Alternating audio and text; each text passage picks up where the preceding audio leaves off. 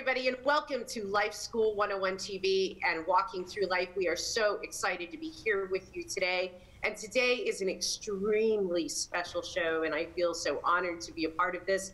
We have Linda Carbino, my producer, my executive producer of the show and co host.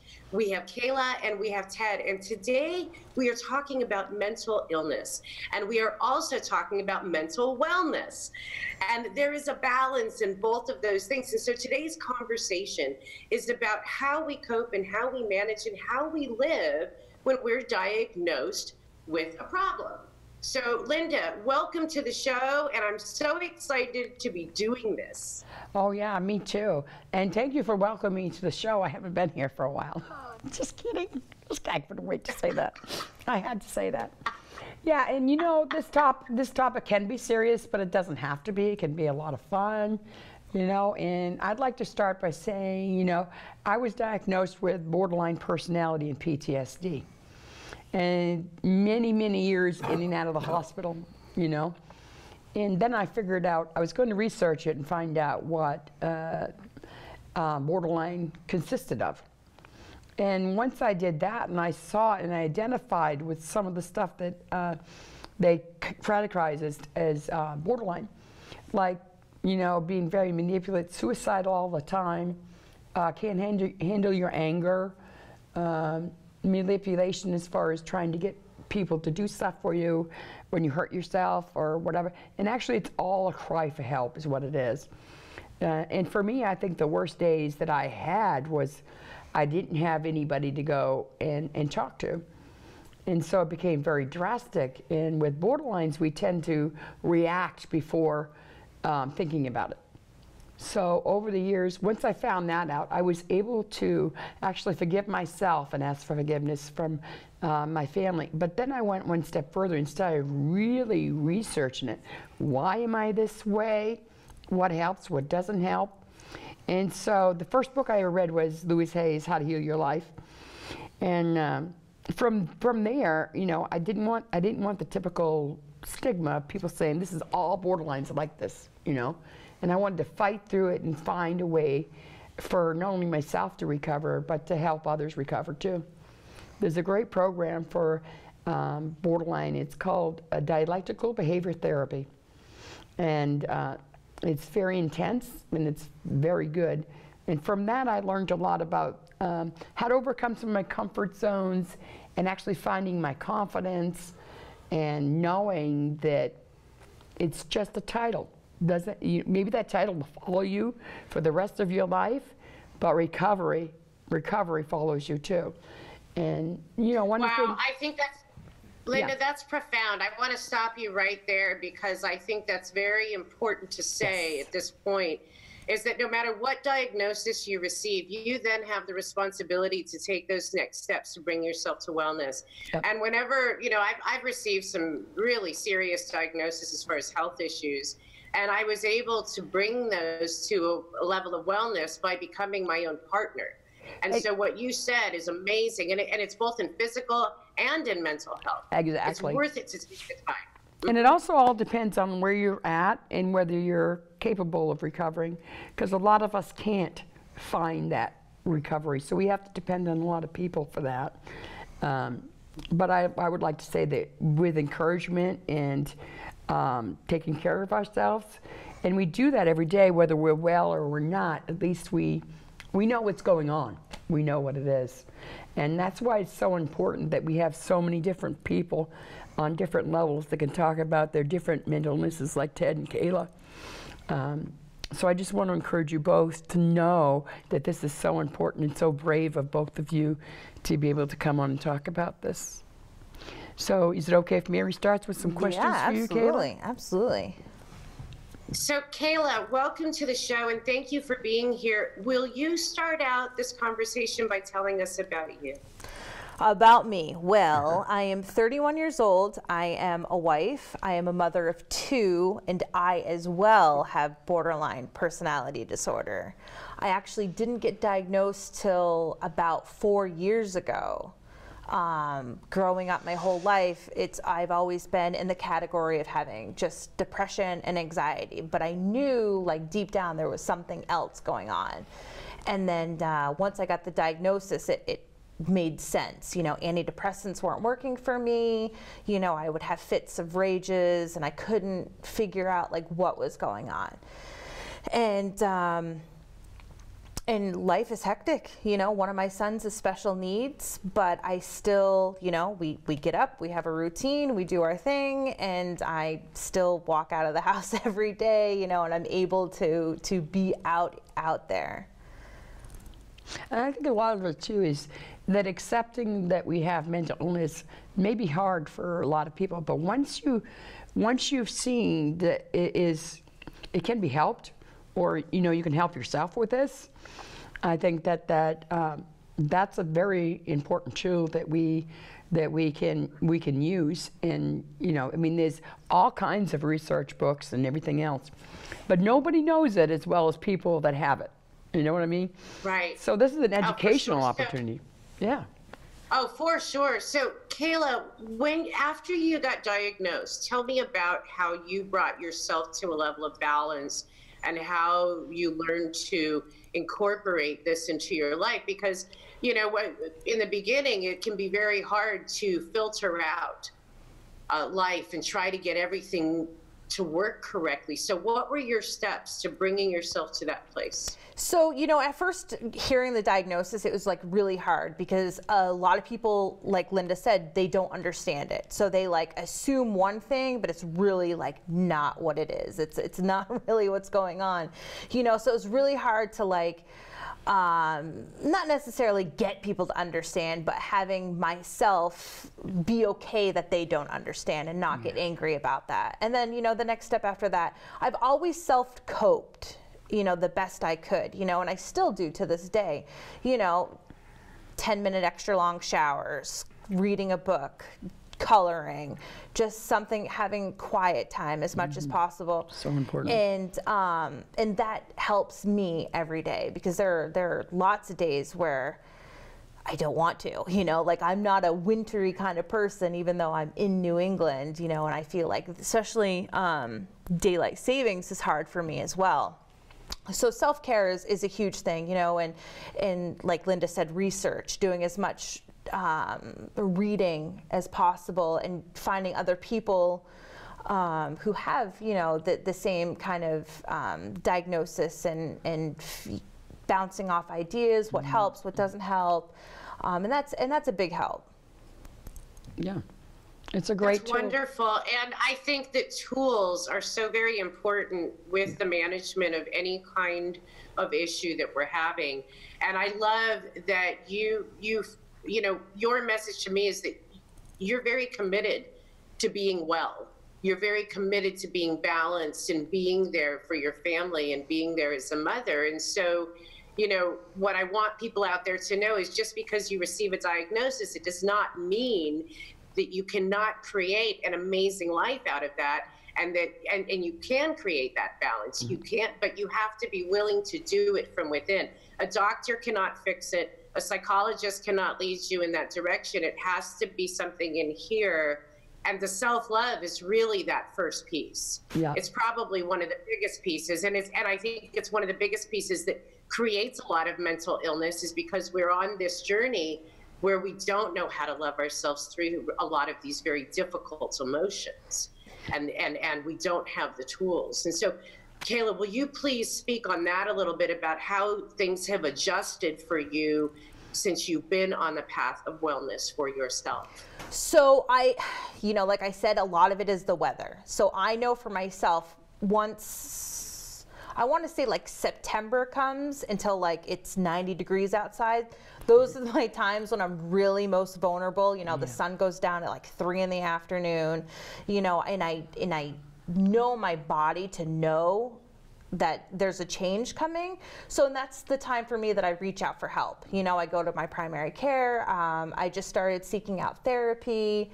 um, and that way I can not mess up my household, you know, um, taking care of two kids, a husband, you know, and I try not to stir any of that up with my own emotions and my own, you know, feeling down because, you know, the weather or, you know, especially the holiday season. Holidays are very, very hard for me because, you know, being a child, you, you have so many friends and family around, but they don't prepare you that when you get older, you do that on your own you know, and then the um, feeling of isolation is very, very hard. So, you know, around the winter months, I try my best to keep myself um, visited with other people as much as possible so I don't feel that, you know, isolation and emptiness, and, and that helps out quite a bit. Yeah, because that's one of the biggest things about borderline is the emptiness, the loneliness, the feeling like you're not loved and you don't love yourself. And I wanted to say one thing because borderlines are, are like most of them just see it like this okay, black, white. There's no gray in between. And until, you know, like Kayla's done and myself's done a lot of work so we can find that, you know, the darkness isn't as bad or the white isn't as bad. So you come together and you get kind of like a stable thought. And the other thing I want to say too to people out there that maybe just found out that they've got borderline or have just found out that they've got schizophrenia or whatever it is, um, that, you know, reaching out for help is a good thing you know, and accepting the fact that you have a mental illness is very hard. But um, I think I want I want to make sure that people get the message that if this is something that's just too hard for you to understand or too hard to do, it's okay. It's okay. Um, it happens in your time, and if you're stuck at the moment, you can seek out help. And I know Kayla and I and Ted have some good recovery stories. So I just want to make sure that you know you're okay, okay? You, you know you're okay. We're not putting anything on you, whether you have already found recovery or you're still stuck where you were. So I just wanted to make sure that Wow. you, yeah. I totally agree with you, Linda. And I think it's also really important that we say here that, you know, a lot of people, diagnosed or undiagnosed or whatever, feel these feelings and have these things going on in their lives. Yeah. And I think that, you know, a lot of what we're talking about here is is doing what we need to do for ourselves. Right, exactly. Putting that oxygen mask on first and getting help is that oxygen mask. It's like, okay, I need some help up here. Awesome. It's time to find help. What do I need to do next? Action plan. Yeah. And take that step, folks, because regardless, you you can turn this around. And Yeah. and Linda, I think that's so important. Linda, I want to I, I think we need to bring Ted into this conversation. There's Um, the teddy bear. so- yes, there's our Ted. So will you introduce him and tell us? Uh, uh, why don't you and Ted talk about how you got started together and started together. Yeah. Met her in '96. Yeah. We met in, uh, we actually met in uh, 2000, no, um, 1995 is when we met. '95. Yeah, the end of 2000. I mean, right, my dates are all messed up. Um, but we have a very unique love story. You know, not many people. Schizophrenic. Yeah. Voices. Yeah, talk a little bit about that. You, you know, sometimes going to the hospital and relationships and dealing with me getting angry Sometimes I sometimes. have to take a nap when I don't feel good. It's like he's changing medication right now, so he's. Taking medication. Yep. You want to tell Mary how it feels to have schizophrenia? Not good. Describe what happens to you. I feel tired and stuff. And we're about up here My head hurts sometimes. from the voices, right? And the voices. Um, you want to tell her um, some of the tools that you that we use to help you with that? Talk. Yep. Yeah. Talk her. Yeah. And it, it's uh, it's hard for me when he goes through it because it, it hurts me, you know. And with schizophrenia, it's something that's always there. You know, there's It's not. always there. Yeah. And sometimes, sometimes he needs to go to the hospital to get help, medication change, and you know I I've had to do that before too.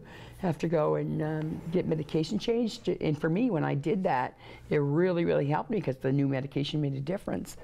And um, with Ted, I think when he needs to go to the hospital, it's really hard on me, Yeah. but I know it would help him. Yeah. And sometimes Well, they, and you two have a very unique relationship. Yeah, And it's a we very special relationship. Go Yeah. ahead, Ted. We have a good like, relationship. he cooks the best cookies. I cook the best cookies. Oh, are you the baker in the family? Yeah. Gonna have a bake sale. Yeah. Call Ted. That's wonderful. So Ted, what are your what are the things that you do and enjoy every day to keep yourself balanced? I watch TV, go out and have coffee. I take a box Every morning. every morning. I go for walks every morning. And you also got men's group. Got a men's group too on Wednesdays. You want to tell Mary a little bit about men's group?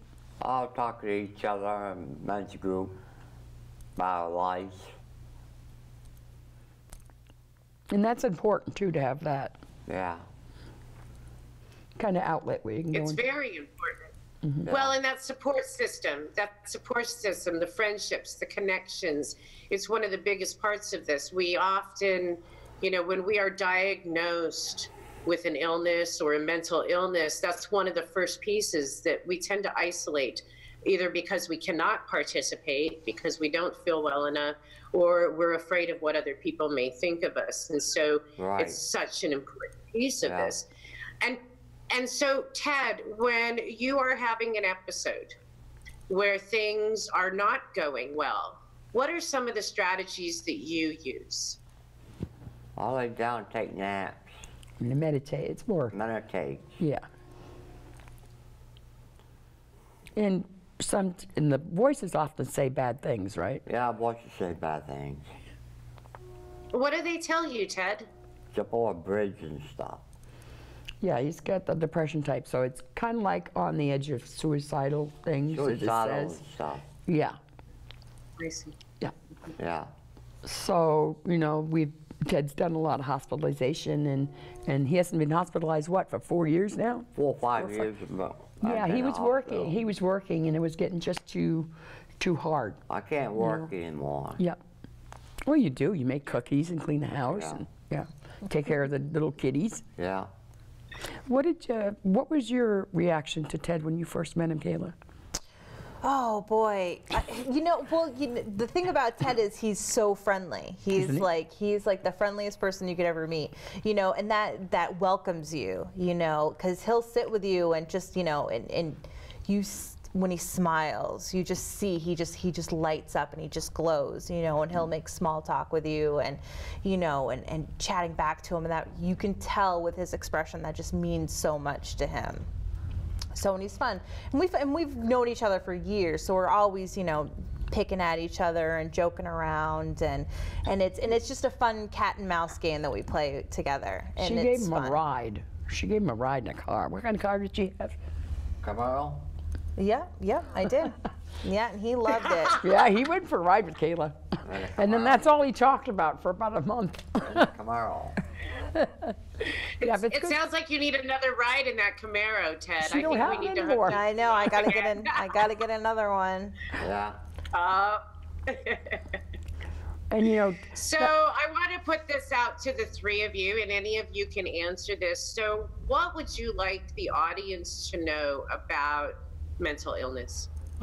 you want to start, Ted? Mental illness? Yeah. Would you like the audience to know? That was a kind of hard life living a illness. Kitty's help. Mm. Yeah. I mean, yes, it's definitely hard, but we're not like scary. You know, we're you know so easily misjudged that you know. Uh, you know, somebody may have this that they're always, you know, a, a- a downer and never want to do anything, and that's that's not the case at all. Because a lot of people, you know, feed off that. They want to do something. They want to be included, and sometimes they can, sometimes they can't. You know, and patience, patience, patience, patience, and to find that, you know, either support group or that family member or friend that, you know, is like your buddy system. You mm. know, somebody you can go to, somebody you can talk to, whether it's a good day or a bad day. And, you know, for them to, to support you the best that they can. Boy, she, she, she, that was good, wasn't it? Yeah. That was really good, Kayla. Now, what am I supposed to say? I don't know. You're dropping your stuff though. Anyway, that, oh, I dropped the battery. Oh, no. Okay, so this is what I'd like to, to kind of like say about it and summer it up a little bit is that we are judged. There is a big stigma about mental illness, and people don't talk about it. They don't feel comfortable if somebody suggests me, well, uh, maybe you should see a therapist. Oh, I'm not crazy or, or whatever. You know, a lot of people feel that way, so they end up not getting the help that they could really use, you know. And, uh, and if they don't have that, then they don't know what strategies might might help them. You know what I mean? But it doesn't necessarily have to be therapy either. Like there's books out there. You know, get a book about your diagnosis and read that, or or watch shows like this one. This is great. You know, and every every single everybody deserves to have a life when they don't have to worry about stigma and um, being characterized as crazy or whatever. And you know, we often see people out in the community that you know you have mental illness, like they're talking to themselves or whatever it is, and it creates a lot of fear for people. And I would encourage people to go to www.nami.com. At NAMI, they they are there for family and friends to help them be able to understand mental illness. Well, Linda, I wanted to mention, um, in addition to you doing this show, you have been a producer. You're an executive producer with CATV. Uh, you started Walking Through Life. Is that 13 years ago? Yeah, well, yeah, it was 2005. Yeah. yeah, So you, so that, and that's, and you have been a huge advocate for mental health awareness. You have worked with government uh, officials to change laws. You have worked with rehabilitation centers. You have worked with drug rehab centers. Yep. You've really done the full spectrum of bringing this to attention, not only in your local area, but global. And, and you are a superhero of being an advocate. Well, it's, I mean, really, seriously, I'm not kidding. You have been a person. That's what amazes me about you. Is not only have you taken this and embraced it and overcome it in your own life in a way that you have created your own balance, but now you, you know, for 13 years you've been speaking publicly as a representative for everybody, and I can't thank you enough for that. That is absolutely astronomical and amazing. Thank you. Yeah, you, you know, I could say the same about you, uh, that you are very inspirational, and uh, we work well together, and doing this show and different. You know, we've got so many that we can, so many experts too that come on and talk about um, life skills and things like that. But I'd consider Kayla and, and Ted both experts on on uh, living with mental illness too. Yeah, Yeah. absolutely. Thank you. Yeah. So, my last question, because I know we're probably getting closer towards the end for each of you, is how would you like to see the world change when it comes to mental illness?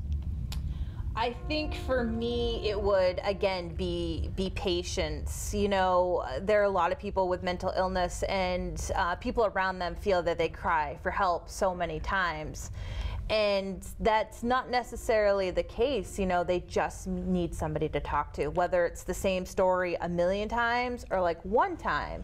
They need that comfort knowing that somebody's listening, know, knowing that somebody is there for them. And we don't see a lot of that now, you know, in, in everyday life. You know, everyone is in a rush to do something, to go somebody to go somewhere and not take the time to just sit and, and have a conversation and, and learn things. And that's something big that, you know, I, I would like to see um, in the future is, you know, having people in general, everybody be more educated on Yes. all types of, of different things and not to be so judgy. You know, they, they see, they hear a diagnosis or, you know, um, or, or learn of one and they automatically assume, you know, one thing and that's, that's not the case. Absolutely. And Ted, what would your answer be to that? What would you like to see change in the world around mental illness? More people realize they're, uh, they're hurting. Yep. And schizophrenic and stuff. Got a hard life. But Ted, you do a lot of peer work too. You see people on the street that may have the same kind of problem that you have, and I've seen you go and talk to them and Yeah. yeah, relate to them. But I think peer Talk support's to very people important. and stuff. Yep. Talk people talk Tucker box. Who's your friends at Tucker Box? Jeff. A guy named Jeff. He's a firefighter. He's a firefighter. Yep. He gave me a fifty dollar card for a birthday. Yeah. Oh, that's beautiful. And uh not a card, I got twenty dollars for a coffee card for Yeah. a birthday. I'm really. Yeah. Yeah. Yes, it's all about um, helping others, and it's all about you know feeling. Because I can remember how desperate that I was before. I can remember that desperate, so I will never forget that. And if I can be helpful to anybody, you know, I will. I really want to do that because it is something that affects all of us to a certain level, whether we got family members or we have it ourselves or whatever. And um, I mean, Mary, I think that having Ted and Kayla on was very good today, and I'd like to have them come back. Oh, I would love that. I would love that anytime both of you want. And I think we should continue having this conversation Yes. on a regular basis because it's such an important topic. Yeah, and like I said, if there's anybody out there at Life School that um, have any questions or anything, leave comments after the video, or you know, you can message us with with questions, and we can get them answered for you. Uh, participation in this would be great. Um, and I think my last message, Mary, would be is that we need more Marys too that are open to understanding and open to getting to know more. She was very excited about getting getting to know more about us. Yeah. So that's my message. Well, and my message is I'm so grateful for the opportunity to talk to all three of you for your honesty, for your willingness to be vulnerable. Um, I know that that is not always easy, and I really appreciate the fact that you did this because this is going to reach a lot of people who may be needing help right now. And to those of you who are needing help right now, I want to put this out to you. If you need help, the time is now don't be afraid. Don't be afraid to reach out. Pick up that phone. If you're suicidal, call the suicide hotline. We will have that number attached here to this video. Mm-hmm. And if you and and here's the other thing is that asking for help is the first step to making it better. And oftentimes when we are stuck in the middle of a storm and we don't feel that we can get out, that's the lowest it's going to be. When you go ask for help and you provide yourself with that opportunity, it's only going to get